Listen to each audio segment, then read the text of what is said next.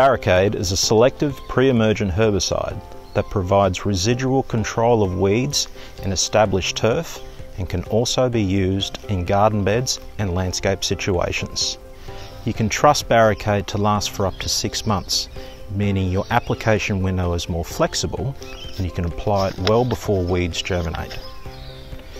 Barricade binds high in the soil profile, creating an effective long-term barrier to residual weed control, whilst ensuring that turf roots below the barrier remain healthy and your turf stays in prime condition. This easy to use pre-emergent liquid herbicide controls a wide range of grassy weeds, including African lovegrass, Parramatta grass, summer grass, crowsfoot grass and winter grass. And it's safe on established plants with no phytotoxicity. Plus, it is exempt from poison scheduling, reducing worker risk. And finally, some tips for getting the best out of Barricade. As it is a pre-emergent herbicide, you need to get it on before weeds germinate.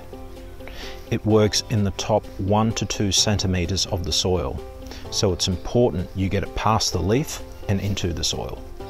To get Barricade as close to the soil surface as possible, use 08 nozzles and a water volume of at least 500 litres per hectare. Wash in following application with at least 6 millimetres of rain or irrigation. You can delay wash in following a few days as well if required. Check out the label for your optimal rate. And when you mix Barricade with Acelepryn, you can achieve up to six months control of weeds and insects in a single application.